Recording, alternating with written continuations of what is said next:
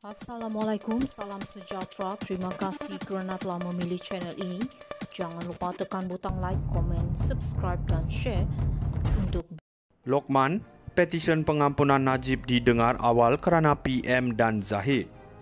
Seorang ahli Majlis Tertinggi AMNO hari ini mengucapkan terima kasih kepada Perdana Menteri Anwar Ibrahim dan Presiden Parti Ahmad Zaid Hamidi yang menurutnya membolehkan petisyen Najib Razak kepada Lembaga Pengampunan Wilayah Persekutuan didengar awal. Bercakap kepada pemberita selepas mesyuarat majlis tertinggi yang dipengerusikan oleh Zahid, Lokman Nur Adam berkata petisyen untuk pengampunan lazimnya akan didengar selepas banduan menjalani satu per tiga daripada jumlah hukuman mereka. Kita juga nak ucapkan jutaan terima kasih kepada Perdana Menteri kerana kalau nak ikutkan, Najib punya pengampunan diraja sepatutnya sudah satu per tiga jalani hukuman baru boleh dapat didengar oleh lembaga pengampunan. Tetapi atas usaha oleh Presiden dan dengan dibawa oleh Perdana Menteri, maka Najib punya petisyen dapat didengar awal oleh Yang di-Pertuan Agong ke-16, kata Lokman. Najib telah mula menjalani hukuman penjara 12 tahun atas sabitan skandal SRC International melibatkan RM42 juta pada Ogos 2022.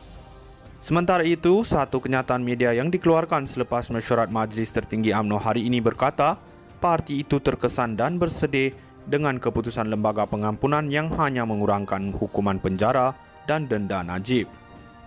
Justru katanya AMNO akan meneruskan usaha mendapatkan pembelaan buat Najib selaras keputusan Perhimpunan Agung AMNO. AMNO ingin menegaskan pembelaan terhadap Najib dibuat kerana merasakan beliau tidak mendapat keadilan seawal proses perbicaraan.